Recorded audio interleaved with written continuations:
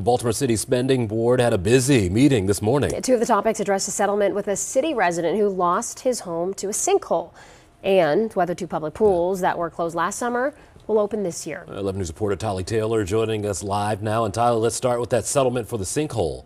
Yeah, you might even remember it. Back in July 2022, a sinkhole opened up on East North Avenue in Baltimore after a century old storm drain collapsed.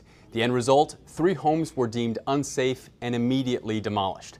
11 News Investigates was at the scene as the homes were knocked down and interviewed homeowner Quentin Bell as he stood by and watched his investment disappear.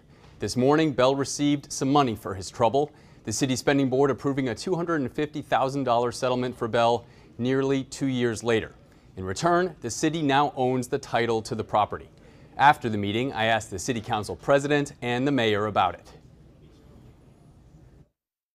And this person ultimately lost their home. Um, so I think this was the right thing to do from a city perspective. I think it's a, a, fair settlement, and that's what I will say. We know that, as I said earlier, the city has aging infrastructure, and I think this is a very, very fair settlement.